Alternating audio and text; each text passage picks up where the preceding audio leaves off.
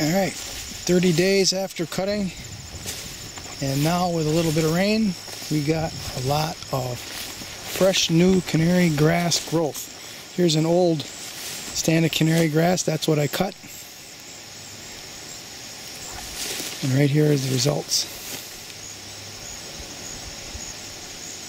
And this I expect to dry out here pretty soon.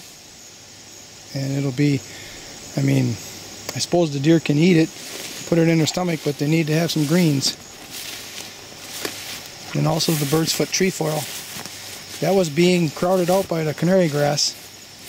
When I started cutting it, this is my third season of cutting, that's all coming back. And that fixes nitrogen. And now it's fixing nitrogen for canary grass. Canary grass as a food plot forage for deer.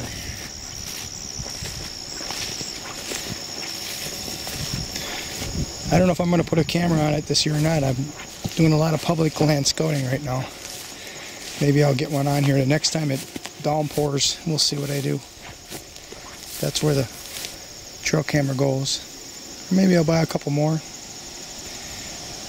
But here, this was a very thick stand of canary grass. You can see all the browning stalks it's kind of covering them up a little bit. It's taking them a little bit of time to get up through it. That's okay.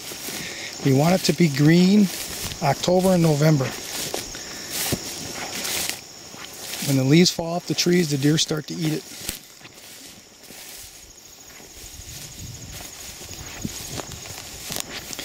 a little patch here I cut. Alright, looks good. I don't know if I threw some parsnip seeds in here.